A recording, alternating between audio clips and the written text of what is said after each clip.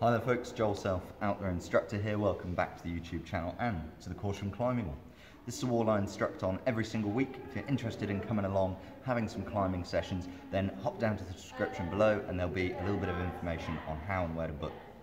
Today, we're going to be talking about a barrel knot. It's a really useful knot. I personally use it most for protecting the end of my tail during abseils so that if anything goes wrong, I hit the knot and don't go whizzing off the end.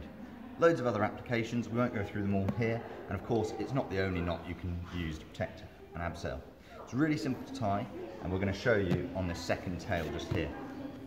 So start by measuring yourself about a meter's worth of rope, and then we're going to hold the main body of the rope with your thumb running alongside it, pointed up towards the sky. Take the end of your tail, flop it over your wrist, and then we're going to do three wraps around your thumb and the rope. One wrap, two wraps, three wraps,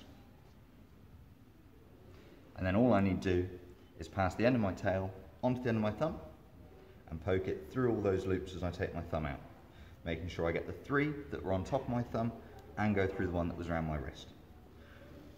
Pull that all really tight.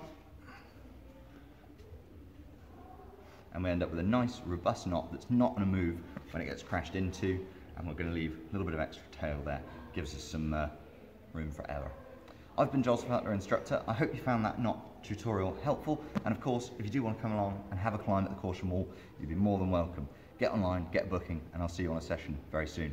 Thanks for watching. Bye-bye.